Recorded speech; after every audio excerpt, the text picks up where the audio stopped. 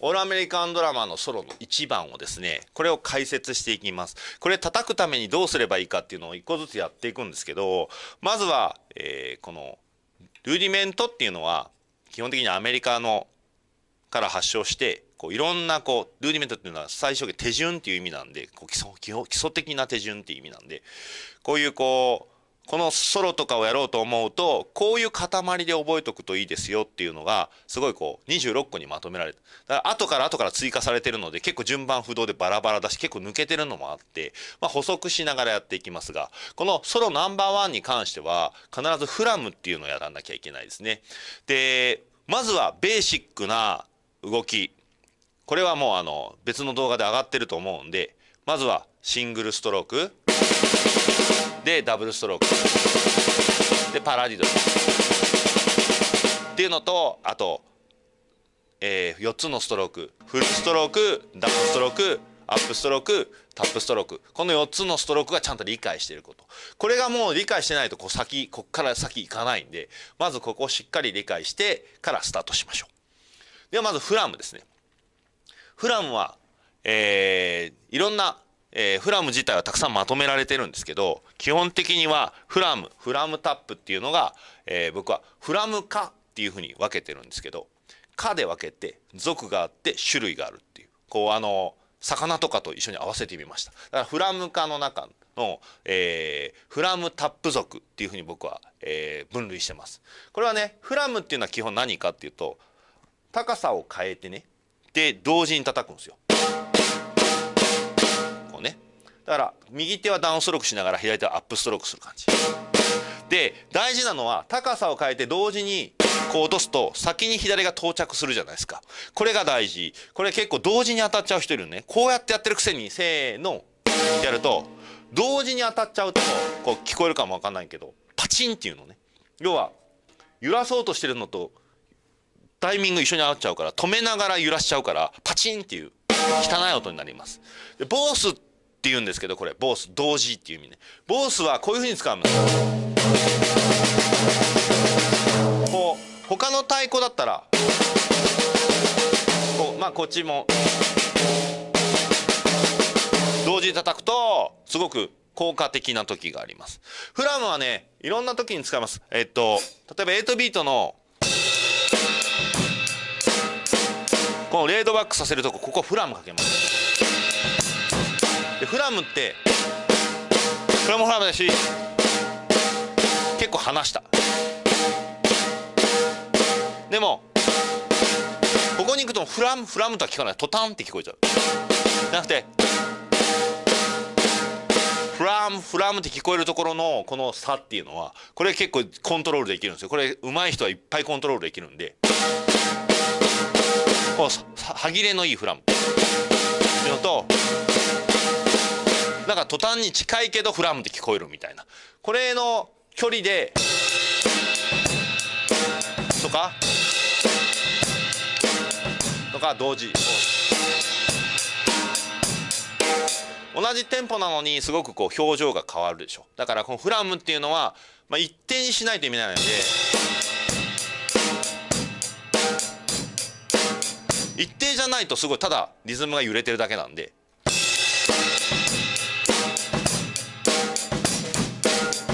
こういうふうに使ったりするあとはフィルイン。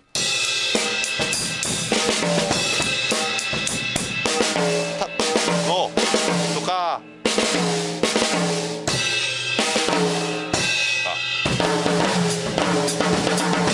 フラムってこういうふうに使えます。あとねこういう。これね。こういうのを使う。これってボースで使うと。僕はあんまボース使わなくてこれフラム使うとちょっと分厚いでしょ。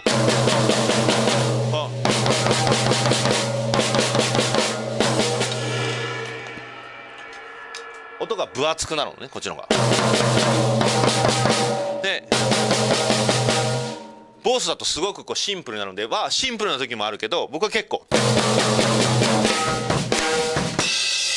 なのを結構情熱的な時に使ったりします。なのでこうフラムを覚えとくと音色の感情変えれるんです。えー、っとアントニオ・サンチェスとかのドラムソロでこうフラムを入れたところにバスラを合わせるみたいな。すごいなんかこうドスってくる感じがしますね。こんな感じにフラムは使ったりします。だからっていうフィルインが書いてあってその通り叩かなきゃいけないんだけどダセえなと思ったら僕らはフラム入れます。音程変えちゃいけない仕事たまにあってこう譜面通りやってほしいって言われた時に結構フラムフラム入れたりとかして表情をつけたりしますね。なのでフラムってすごいよく使うんですけどまあやっぱり表情がつけれるので上級者向けではちょっとありますね。これがフラムです。フラムはこうやって覚えましょう。じゃあフラムタップはフラムした時に反対の手が上がってる間に右手でタップストロークする。タップ。フラムタップ。問題ないんですがフラムタップって16分音符で出てくるね。でこれもういきなり2番で出てくるのでこれソロ2番でね。1番でも出てくるんだけど、えー、これで結構みんな詰まる人が多いです。これねかんちょっと右手だけの動きを考えるとダウンタップアップダウンタップアップダウンタップアップこういう動きなの。これって結構みんな早くできると思うんですこれに左手がアップとダウン。でずらさなきゃいけないからここはちょっと調節が必要です。ボースにならないよね。で速くならないの理由はフラムタップフラムタップでそこでブレスが入っちゃってる。でこのソロっていうのはルーディメンタなので100をオーバーしないと意味がなくてまあ90してやってるやつもある例えばその3連符のやつなんかはちょっとゆっくりでやってるやつもあるんですけど基本的にはマーチングなので120とか100とかのペースで出てくるんですよ。でこれみんな60とかで練習しがち。だけど60で練習するのは押さえつけてもできるんだけどこれ押さえつけたら絶対できないのね。だから音が連続していく感じっていうのもつかめる練習なので。練習してくださいねこれ。で左側の「タッタタ」っていうやつはえっと左手の動きはアップダウンタップアップこれに右手のダウンアップが入るとこれね。両方押し込むとこう押し込む感じっていうのが分かると思う。こうね。こう3つ3連打押し込んでいく。左手で押し込んでいくから。右手で3連打を押し込んでいく感じっていうのが分かると両方押し込むとこれになります。有名なフレーズはねえー、っとマイケル・ジャクソンの「ロック・イズ・ユー」で。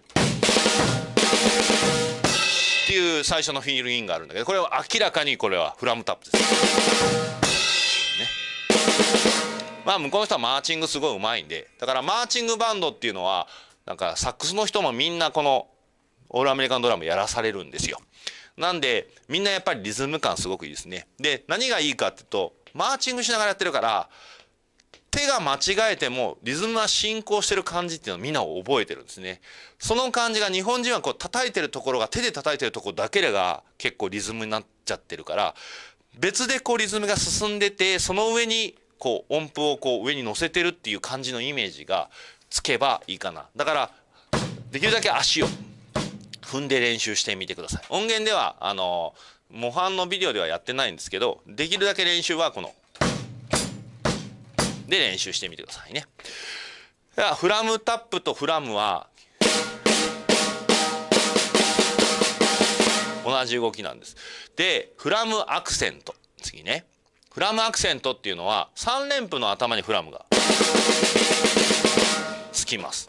これねすごくよく使うので覚えておいてください。でポイントはフラムフラムタップ族と分けたのはフラムフラムタップはフラムした瞬間に反対の手が上がってるんですがフラムアクセントに関しては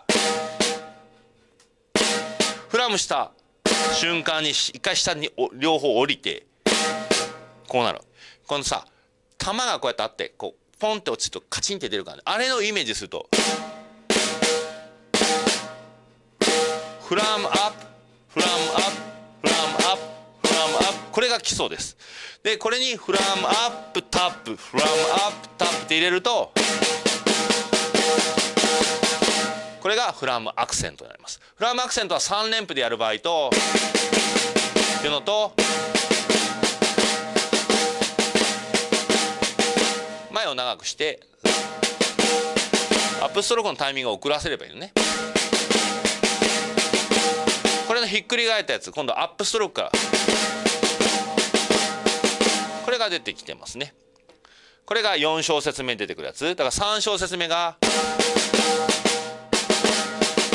これが、えー、3小節目4小節目のフラムアクセントになります。フラムアクセントができればフラムアップタップタップ。さっきタップが1個だったでしょ？これ2つにする。フラムアップタップタップ。フラマディドフラマディド。フラムパラディドルっていうのがすぐできます。なのでこの2つは動きが一緒なのでだからフラムアクセント族というふうに名付けました。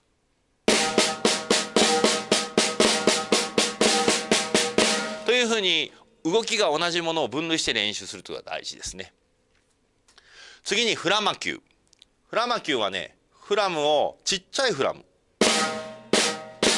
だからミディミディアムポジションっていうのが出てきてちっちゃい音なのにそれよりもちっちゃいフラムが必要。で次に16音符1個でアップストロークしてダウン。で次がアップでアップ最後フラム。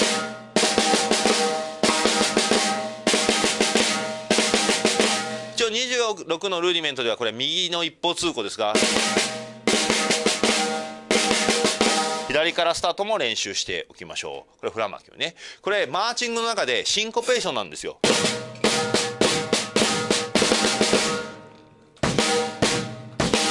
っていうかリズムを進めるために裏側にアクセントを置く定番のパターン。で着地のとこにフラムがある。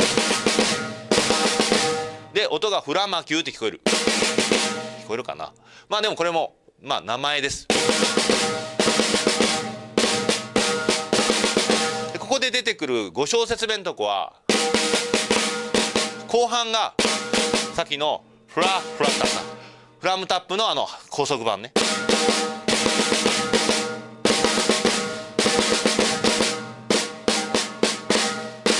が出てくるので気をつけましょう。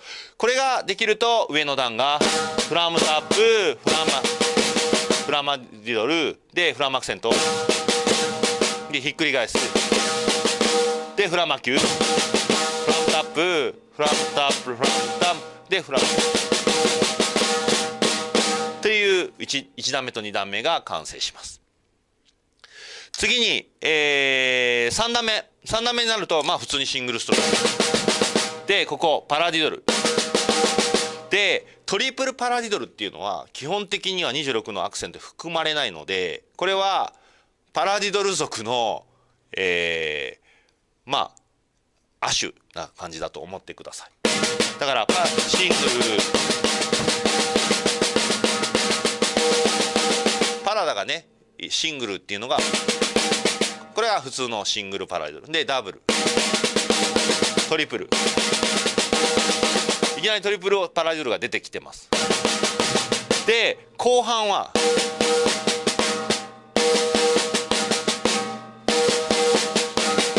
アクセントの位置を変えてる。でここふここがパラパラ。ここでアップになってでタップここフルこれ慣れるとねポンって飛ぶ感じが。っていうのがすごい、えー、非常に気持ちいいですね。っていうところがちょっと難しいとこ。でまたまた、えーと、シングルストローク。でパラジオが来て。でこれはえー、っとフラマキューみたいなリズムが出てくるけどこれは普通にシングルストロークのまあアクセント移動ですね。で下の段に関してはなのはこのノーアクセントの部分。よくみんなねこうなるよくなりがちなの。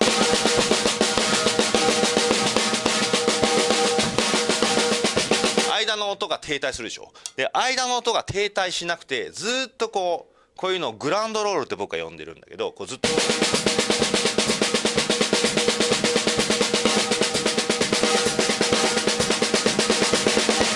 でよくこう迫力のある演奏っていうのを結構みんな勘違いして音量で行こうとするんですけど本当に迫力のあるのってちっちゃくて揃ってるの。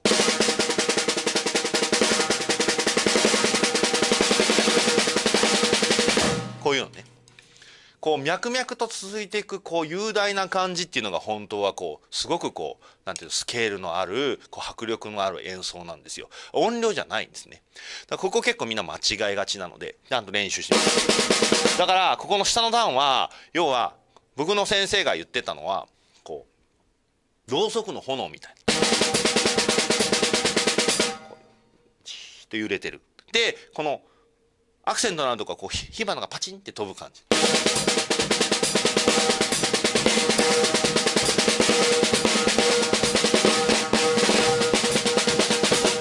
半のところはここの。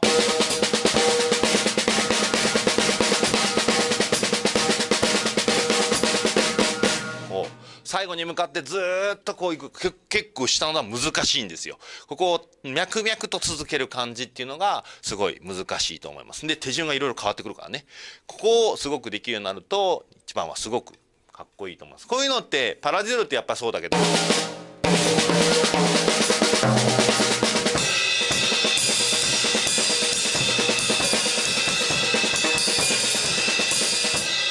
感じでこうクラッシュでこう派手にやったりとかまあこういうのをすごくよく使いますね。こ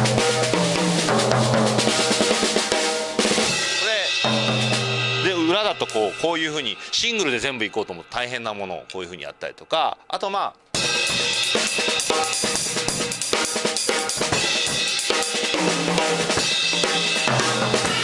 こういう結構幾何学的な演奏をしようと思うとこれ今のインワードパラディドばっかり。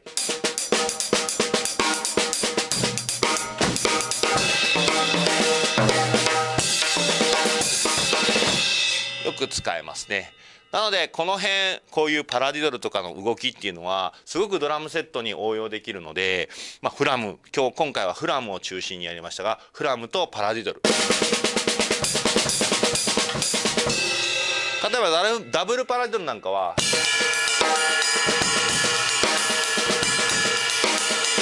そのままあの86のラテンって言われる。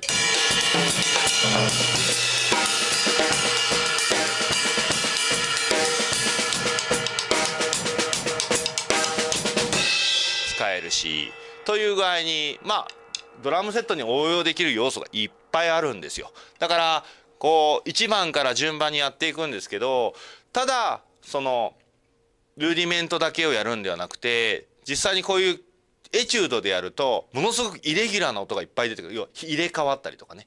突然音楽的にひっくり返ったりとかするんですよ。でそれを対応できるように練習するのに26だけやるんじゃなくてアイウェイを書きくことばっかりやってたって日本語喋れないでしょ。それ組み合わせたやつをこうやっぱり練習しないとダメなのね。だから組み合わせた部分をドラムにこう応用しながらっていうのを解説しながらやっていくのでまあルーディメント自体はね上手い人ってすごいたくさんいらっしゃるのでまあ僕はちょっとまとめで見本やってますけどもっともっと上手い人はいると思いますがこれをドラムセットにどんどんどんどん応用して練習していくっていうのをちょっとシリーズでやっていこうかなと思いますので是非時間のある時にこのオールアメリカンドラマ。これですね。教本の方はちょっと買っていただいてえー1個ずつちょっと部分部分で解説していくので。26のエレメントのまとめは僕のホームページに載せていこうと思いますんでダウンロードできるようにしておきますので、えー、僕なりにまとめた、えー、順番にしてあります。ただ NARD の番号がついてあるんで NARD の番号もちゃんとつけてありますから、えー、皆さんよく分かるように。NARD っていうのは、えナショナルアソシエーション、えアメリカンドラマ。っていう、まあ、団体があるんですよ。その団体が集めた26のルーディメントってことですね。えー、以上ちょっと説明が行ったり来たりしましたが、えー、ナンバーワン、そのナンバーワンの解説でございました。ありがとうございました。